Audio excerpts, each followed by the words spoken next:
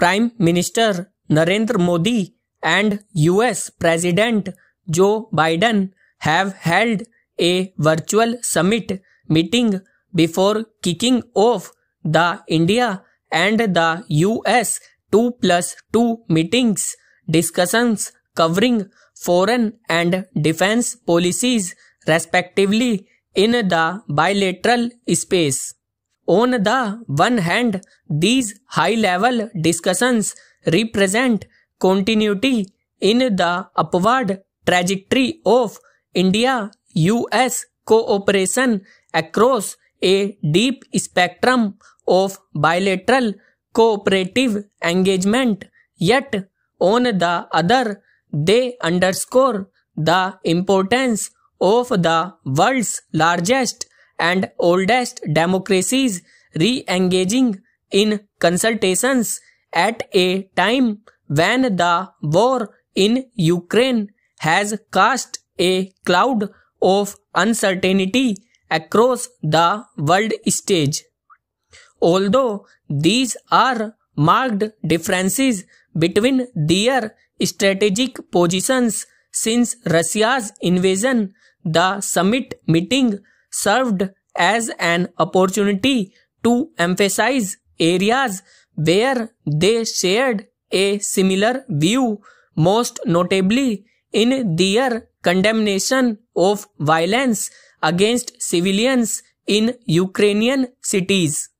However, there was a large policy agenda to catch up on following the intervening vicissitudes of the COVID-19 pandemic, including global challenges relating to public health, space and technology cooperation, territorial, maritime and cyber security and the climate crisis. Beyond these specific sectors where India-US cooperation has a potential to improve the lives of millions, one of the highest priorities was to ensure that there is no further erosion of the rules-based international order as it applies to the Indo-Pacific. Yet, whether in relation to the Indo-Pacific or bilateral defense and energy cooperation, Mr. Modi and Mr. Biden must have found it hard, if not impossible, to avoid the subject of Russia. Moscow remains New Delhi's largest supplier for defense imports and the unilateral sanctions imposed by the US for trade with Russian entities could impact India's procurement plans unless there is an unambiguous waiver granted for the same.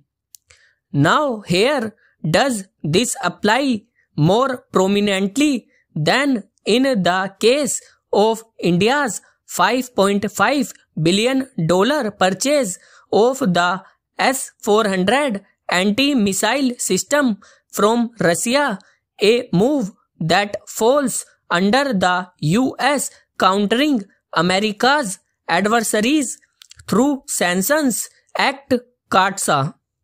Also, the Modi government appeared prickly regarding its oil imports from Russia too, with External Affairs Minister S. Jaishankar implying at a post-meeting press event that Washington's attention in this regard ought to focus on European imports of Russian energy first, which dwarfed India's.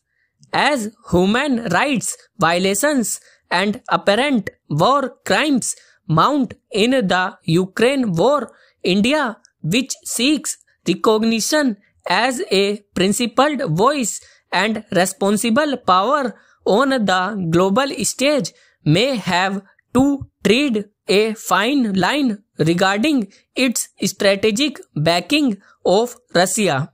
However, the US position on India is no less delicate as it relies on close ties and a strong record of bilateral cooperation with New Delhi to balance China's aspiration to be and act as a regional hegemon.